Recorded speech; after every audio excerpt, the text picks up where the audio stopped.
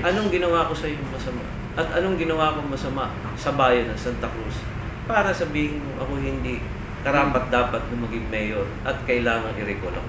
Ito ang naging buwelta ni Mayor Edgar Igay San Luis ng Santa Cruz, Laguna sa kumakalat umano na campaign signatures sa kanilang bayan para ipawalang bisa ang kanyang panunungkulan para magkaroon umano ng panibagong halalan. Ayon kay San Luis, unang upo pa lang niya bilang mayor sa nasabing bayan nitong nakarang taong buwan ng Hulyo ay may umiikot na umanong petisyon laban sa kanya.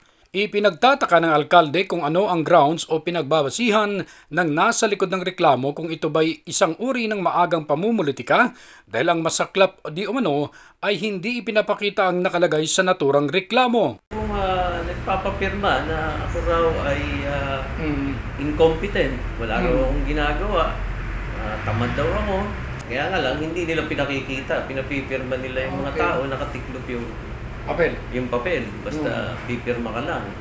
Ay, ah, parang hindi tama yung kanilang ah, iniisip na yun. Dahil dapat yan, ay, ang pagpapapirma ay open. Nakalagay ang dahilan kung bakit kailangan ng recall. Mm. Yun ang aking pagkakaintindi kung tama ako. Ano. Sa akin, yung recall maganda as a, isang tool sa demokrasya. No? Kung Mm. talagang may problema ang nanunungkulan o ang administrasyon, doon, talakayin, pero lahadan. Hindi yung patago.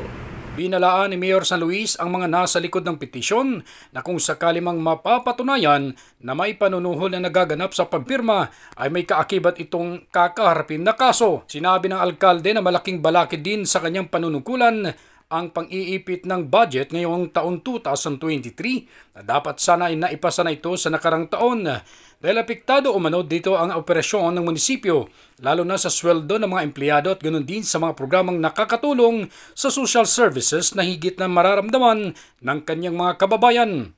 Isinisiguro naman ni Mayor Igay San Luis na sa kanyang nasasakupan na hindi maantala ang anumang serbisyo mula sa munisipyo dahil lahat ng kapamaraanan ay gagawin nila para lang maihatid ang tama at sapat na paglilingkod para sa mga taga Santa Cruz.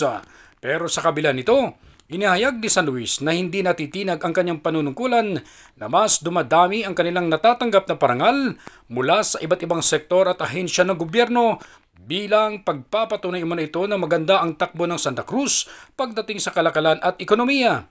Ipinagmamalaki rin ng alkalde ang mga nagpapatuloy na programa na hanggang ngayon ay naging best of practices ng kanyang pamumuno ang patuloy na pagsasaayos ng bayan at patuloy na panghihikayat ng mga investors para madami pa ang magkakaroon ng trabaho sa kanyang mga kababayan na hindi na kailangang dadayo pa sa ibang lugar. Pero nilinaw ni San Luis na nirerespeto niya ang anumang uri ng petisyon dahil nagpapatunay umano ito na buhay ang demokrasyang umiiral sa Pilipinas. Umani rin ng positibong reaksyon mula sa mga taga Santa Cruz ang panunungkulan ng alkalde. Bayan Santa Cruz, sa dami po ng lugar na aking napuntahan. Dito lang po ako nakakita ng napakalinis na lugar. Ah, At ang ating mayor, na si Mayor Regis Luis, ah. ay napakabait. Guman, maganda na, pinaganda pa ni Mayor. Masaya kayo? Gaganda, gaganda na ako sa palakan niya eh. Kasi sa totoo po lang eh, pag lumapit po kami dyan, hindi ko kami nabibigo eh. Totoo po yan. At, mm, napakagaling, napakagaling po.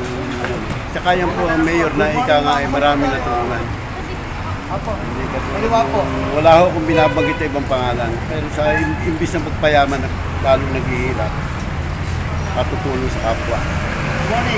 Ronda balita mula sa lalawigan ng Laguna. Ako si JR Narit, naghahatid ng mahalagang impormasyon at balitang totoo.